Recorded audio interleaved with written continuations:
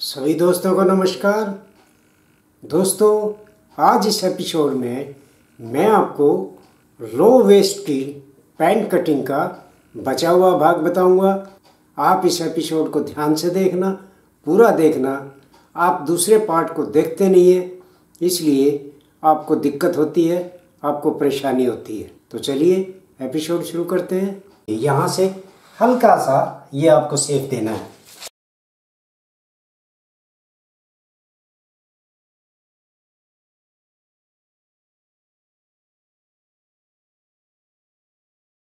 ये हमने सीधे निशान लगा लिए और ये इस तरह से बाहर निकाल के हमने मोरी काटनी है।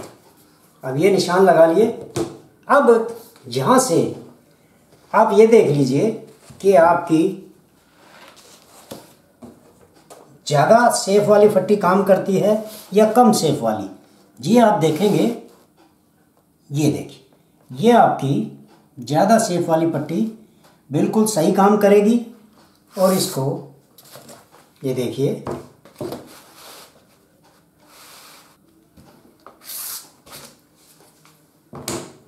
ये ज़्यादा सेफ़ वाली पट्टी से हमने ये ये निशान लगाए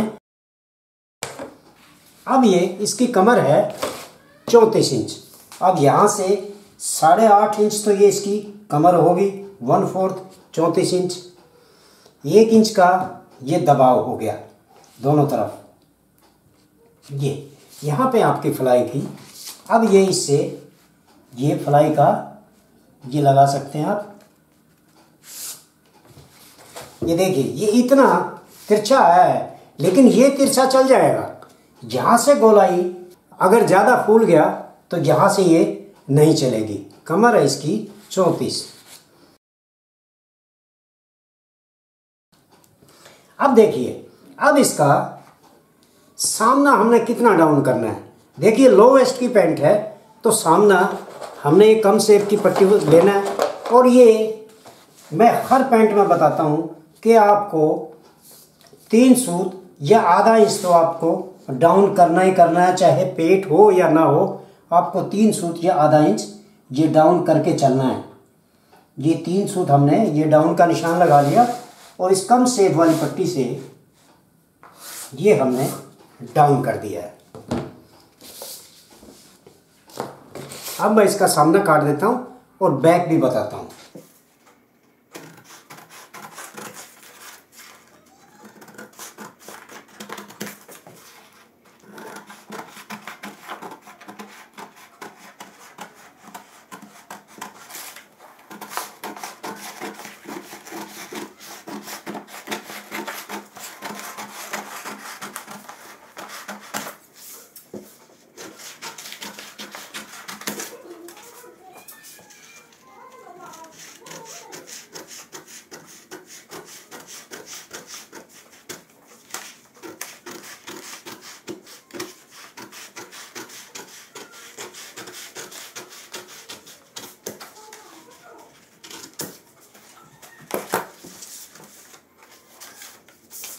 ये आपका लोवेस्ट की पैन का फ्रंट हो गया। अब इसकी बैक काटता हूँ।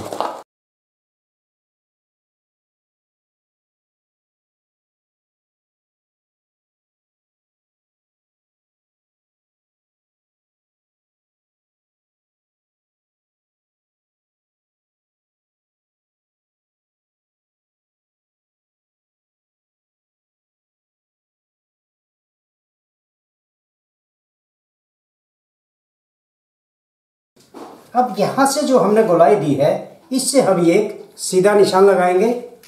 ये सीधा निशान भी बहुत ज़रूरी होता है। इसके लिए मैंने स्पेशल एक वीडियो बनाया था शायद। ये हम सीधा निशान लगाएँगे। अब ये सीधा निशान हम क्यों लगाते हैं, मैं ये भी बता देता हूँ। ये सीधा निशान हम क्यों लगाते हैं, ये भी मैं आपको इस, ये बता देता हूँ। ये सीधा निशान अगर हम नहीं लगाएँगे तो ये आपकी क्रीज बाहर निकल जाएगी।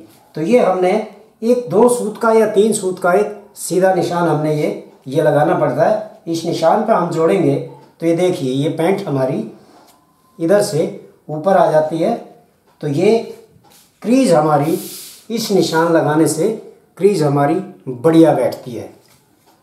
अब ये आधा इंच नीचे, ये हमने बैक का निशान लगाना है। ये हमारा घुटना हो गया और ये हमारी मोरी होगी।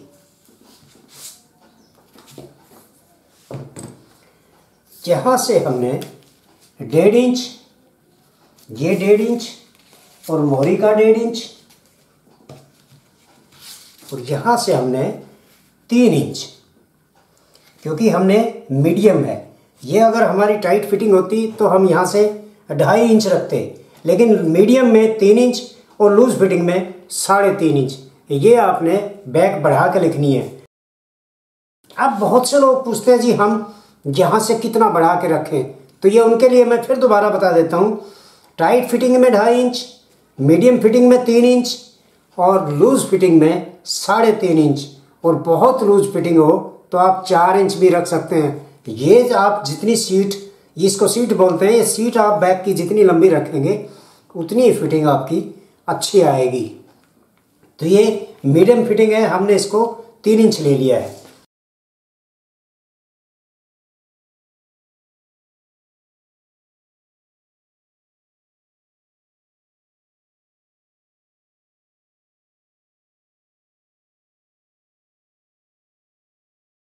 और ये ज़्यादा सेब की पट्टी से आप, ये देखिए, आपको कहाँ आपकी पट्टी काम करती है। ये यहाँ पे आपकी सेफ़ फ़र्स्ट क्लास आती है। ये आपकी सेफ़ होगी। अब बहुत लोग ये कहते हैं, जो बेचारे बिगिनर हैं, जो नए सीखने वाले हैं, वो ये कहते हैं, जी, आपने सामने में तो दबाव दिया नहीं। तो जो सामने का और बैक का दोनों का दबाव, ये जो डेढ़ इंच हम लेते हैं, ये हमारा सामने और बैक दोनों साइड का दबाव होता है, ये डेढ़ इंच।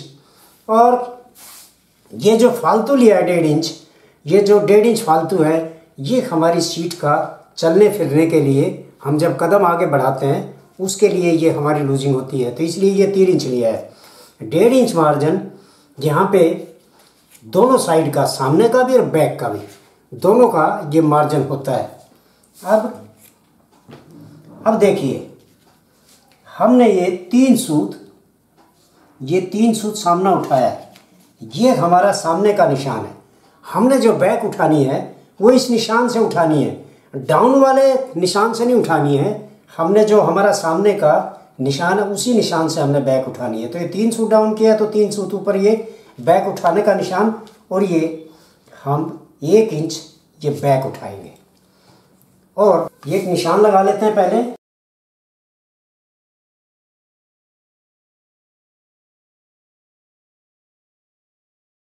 ये हमारा निशान हो गया। अब हमने कमर है हमारी चौंतीस। तो ये तीन सूत जो ज़्यादा रखा था, ये तो आ गया बैक का दबाव। साइड में बैक में दबाव आएगा। इसका दबाव हमने यहाँ से काटा हुआ है। ये तीन सूत बैक का दबाव साढ़े आठ। इसकी कमर, ये साढ़े आठ कमर होगी। और ये एक इंच की डट। यहाँ जो डट डलेगी, वो एक इंच की डट। अब ये हमने सीट का निशान, ये देखिए कैसे लगाना है। यहाँ से ये हमारा सीट का निशान हो गया।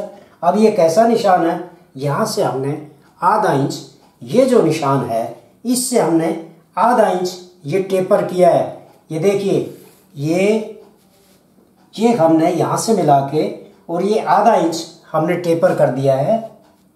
ये आधा इंच टेपर कर दिया है और ये हमारा सीट का निशान आ गया है।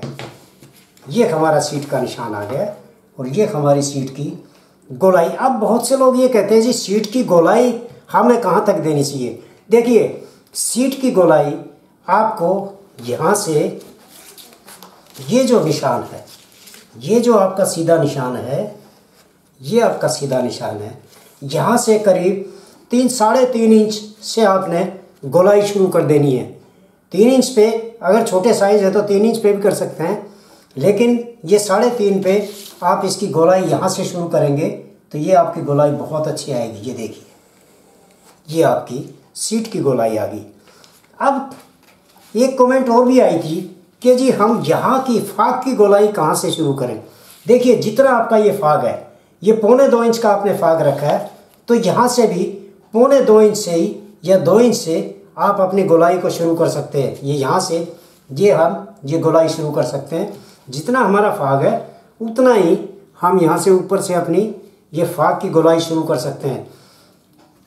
ज़्यादा गहरी नहीं होती है, इसलिए आप मान लो अगर दो सूज ऊपर से भी करते हैं तो भी कोई दिक्कत नहीं है।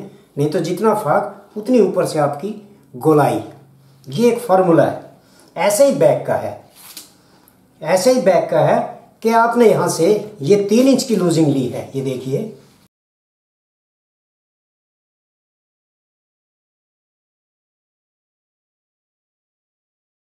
ये आपने तीन इंच की लूजिंग ली है तो यहाँ से भी आप, यहाँ से भी आप तीन इंच तीन इंच पे आप गोलाई दे सकते हैं या साढ़े तीन पे भी दे सकते हैं।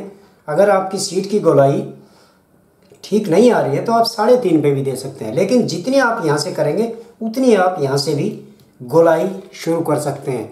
ये दो तीन बार कमेंट आई है मेरे पास तो इसलिए मैंने ये दोनों चीज़ें कि कटिंग रोक के बताई है आपको।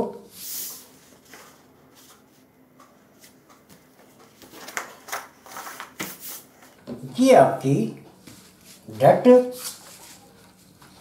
ये एक इंच की डट और ये आपकी बैक पॉकेट।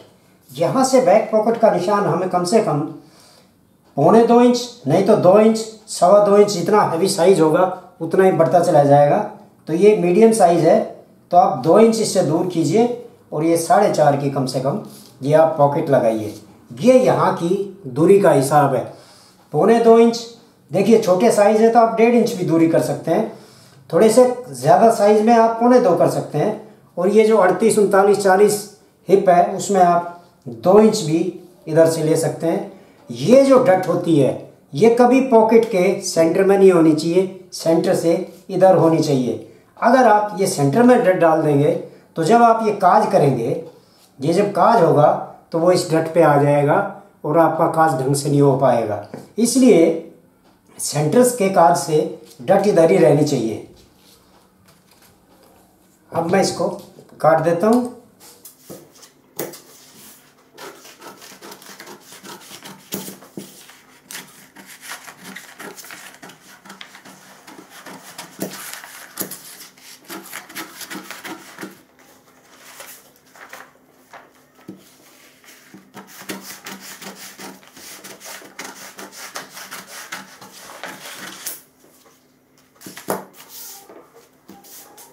यहाँ भी आपने नीचे तक, घुटने तक, साइड में, पास में भी आपने दबाव रखना है, क्योंकि कभी भी लूज़ करनी पड़ जाए। अगर लूज़ कर ना भी करेंगे तो भी दबाव होने से पैंट बैठी बैठी रहती है।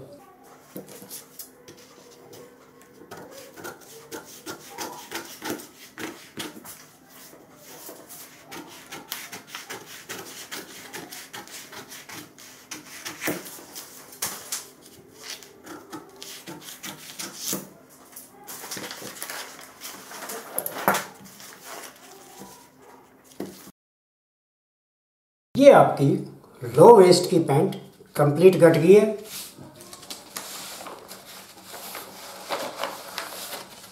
तो दोस्तों, ये थी लो वेस्ट की पैंट कटिंग मुझे उम्मीद है आपकी समझ में आ गया हो